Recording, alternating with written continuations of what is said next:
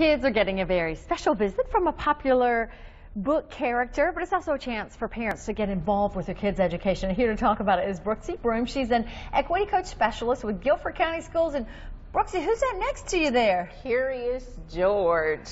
Ah, you know, kids love Curious George, and Curious George loves kids, right? He does.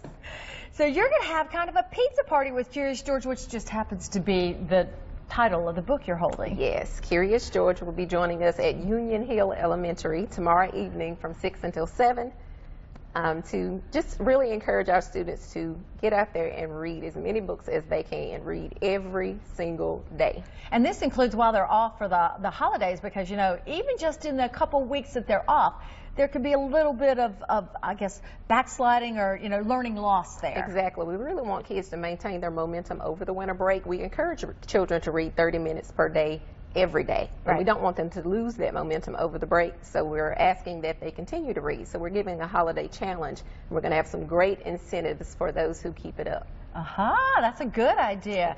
And if people come tomorrow night, come and bring their parents, they get a free book and maybe even a piece of pizza. They get pizza, they get a gift bag while supplies last. Yeah. And we will do a read aloud. We're going to do a lot of cheers and chants. Curious George will be there to keep the crowd pumped up. We're very excited. And you know, a lot of parents may be watching and saying, you know, I, I love to, to read with my kid, but I don't really know the, the correct ways to encourage them so that I'm not doing all the reading for them.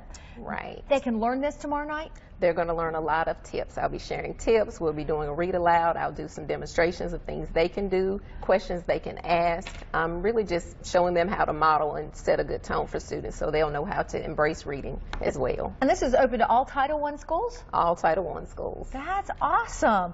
Well, let me give you the information so that you can go if you want to because it sounds like it is going to be lots of valuable fun.